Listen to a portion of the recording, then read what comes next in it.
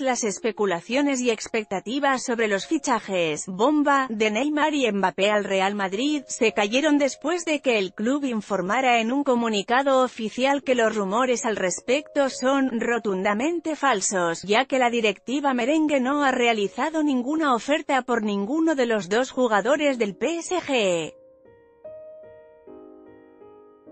Todo en medio de los rumores de la prensa sobre que el Madrid necesita una remodelación en la plantilla, tras la salida de Zinedine Zidane de la dirección técnica, lo que es una realidad, según fuentes cercanas a la directiva madridista, es que el presidente Florentino Pérez, sí tiene cierto interés en fichar a ambos cracks, pero prefiere llevárselo con calma.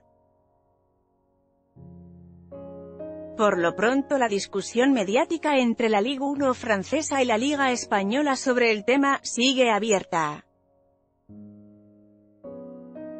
Las negativas del Madrid coinciden con la eventual salida de Cristiano Ronaldo, al que varios medios tanto italianos como españoles ya lo sitúan en la Juventus.